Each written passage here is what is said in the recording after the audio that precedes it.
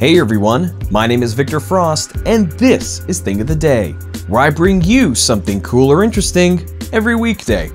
And I am an audio engineer, so when people tell me, oh, vinyl records are superior to digital music files, I very openly laugh in their faces because what they're saying is pure nonsense. In every measurable way, digital music is better than vinyl. Now, I'm gonna get some people yelling at me about this, but it's the truth.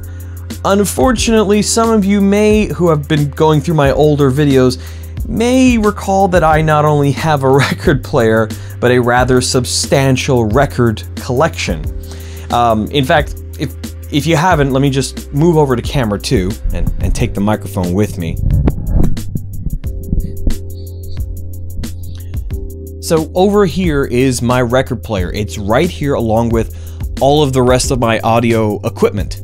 Uh, and on the on the deck right now is Songs by Tom Lehrer, a record I really like, and I've been listening to it a lot over the past couple of weeks. Let's move back over to the real setup. Now, you may think of me as somewhat of a hypocrite for saying that vinyl is a technically inferior way of listening to music, and then having a vinyl player as part of my multimedia gear. But the fact of the matter is that there is something about vinyl that makes it good to listen to. And over at Gizmodo, they have a wonderful article that breaks it down like that without going into the whole vinyl is better than digital kind of argument. In fact, the writer completely agrees with me on that front. So, that's your thing of the day.